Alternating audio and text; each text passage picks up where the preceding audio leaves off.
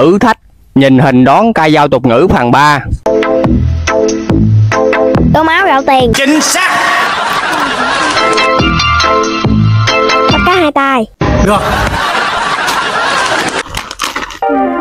Không biết. Sao mà đó được? Đáp án là ớt nào mà ớt chẳng cay, gái nào mà gái chẳng hay ghen chồng. muốn điện điện thoại ghê. Không biết luôn. Mì chuối. Đáp án là tiền nào của đó. Ý mực trắng đen Nói lại. Giấy trắng mực đen chính xác Nhìn hình đón ca dao tục ngữ phần 4 Không biết Ờ mì chuối rồi. Đáp án là đàn gãi tay châu.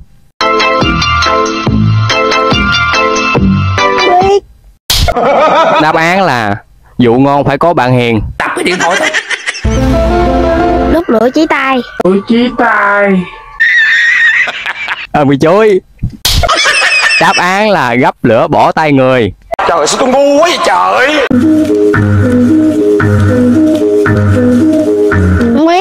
Mà đó được? Đáp án là chọn mặt gửi vàng. Gia đình hạnh phúc hạnh phúc. Đáp án là chờ đánh tránh bữa ăn. Thử thách đón biển số xe các tỉnh thành phần 1. 84 Trà Vinh. 62 Sao hai. An Giang. 62 An Giang thì ôm ghi chuối. Đáp án là Long An. 61 Cà Mau. Cà Mau thì ôm ghi chuối Đáp án 61 là Bình Dương. 64 Tháp Mồi Ấp 10 thì ôm ghi chuối. 64 là Vĩnh Long. 71 Không biết muốn điện điện thoại ghê Đáp án là Bến Tre. Những câu đố chữ hài hước phần chính. Khi nào bị đốt mà không cháy? Bị kiến lửa Đáp án là mũi đốt ong đốt. Ăn gì khiến ai cũng buồn? Ăn đám tàn rồi.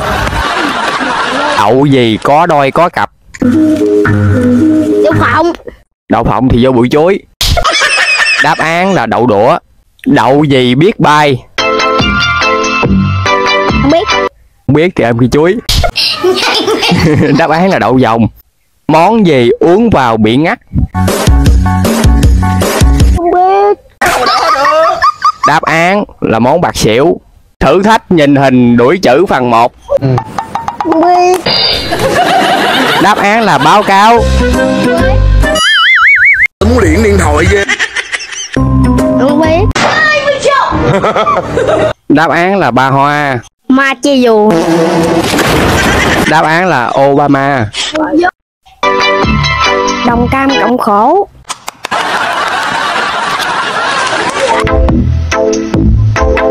Ba chân bốn chẳng. Quá dễ dàng.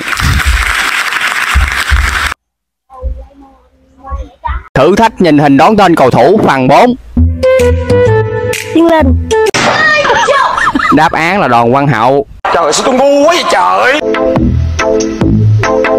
Quang Hải. Phải dễ dàng Di Mạnh Quá chính xác. Bùi Tín Dũng? Bùi Tiến Dũng thì ôm cây chuối. Đáp án là Hà Đức Chinh. Này Không biết. Sao mà đó được? Đáp án là Văn Toàn. Đoàn Văn Lâm. Còn Văn Lâm. Á thì ôm cây dừa. Đáp án là Văn Toản